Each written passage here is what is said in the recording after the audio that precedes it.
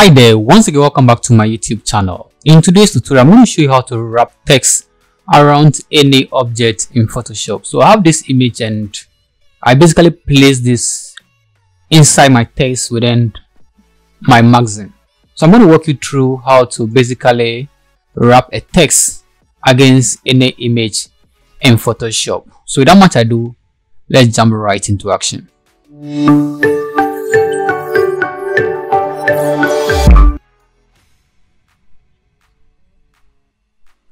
Okay so what i'm going to do is that let me just go through a different page and let's see how we can actually insert uh, an image into this particular text. So we're going to insert image over here then the text should be around the image. So that is what we're going to do. So we first go and then select the rectangular frame tool and then we draw where we want to insert our image. So i'll drag over there this way and I basically want to insert my image over here and then wrap my text around it. So I'll go to file and then I'll place my image over there. So I'll go to file and then go to place.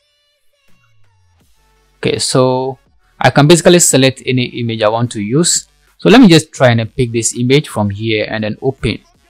So I'm going to place this image right here and then we can use the move to just make sure you position where you want the image to be. You can actually enlarge this if you want to and we can wrap the text around it. So make sure the image is selected. You can zoom in on this. Just actually enlarge this so you are comfortable with the size you want. Okay so i'm going to stick with this. And what i need to do next is to go to my windows menu and then select what text wrap. Make sure that is checked. And it's going to give you this new window. And we're going to use the third button from here that says wrap around subject shape. So just select that. And you can see it's going to give you something like this. Don't be worried. We're going to wrap the text around it. And then from here the contour options select subject. Select subject. So make sure you select that. And let's see what is going to happen. Just wait for some time. And you're just going to wrap the text around this particular image.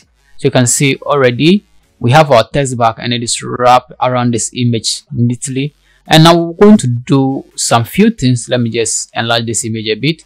Now what we're going to do next is let's increase the offset. So go to the top and then we just want to give some space between the image and then the text. So increase this from here. Just increase the offset.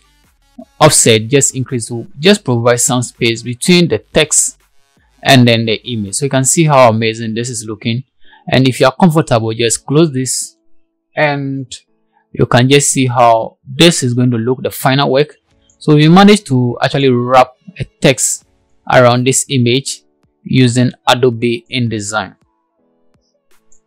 So the next thing we can do is to actually do it without a background image. So it's always advisable to do it when your image has no background. So i'll go to another portion. Let me embed another image over here but this time around is going to have a background. So you have that challenge you want to remove the background what you have to do is to go to this site remove.bg and then you remove the background of your image. So i'll go back here go to my rectangular frame tool and then draw another one over here. And then i'll go and then place the image go place and then select the image i want to place. In this case i'm going to use this and then click on open to place the image within this shape. So I have this image the size seems to be big so I'll actually reduce the size a bit.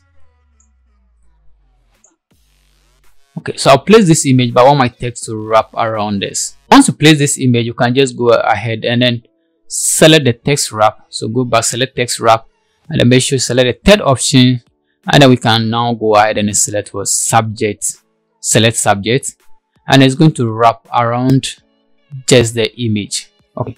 But this is having a background. So the best way to do is to is to use it without what? A background. You can see there's a challenge with this. So it's advisable you go with uh, an image with a transparent background. That will make everything very easy for you and you can manipulate your image. So consider subscribing and don't forget to turn on post notification for more of my video. And i'll be showing you more of adobe indesign how to create outline table of content. I'll be doing more of videos on adobe indesign so if something you would like to learn more about, just subscribe and don't forget to turn on post notification. Till I come your way again. Bye bye.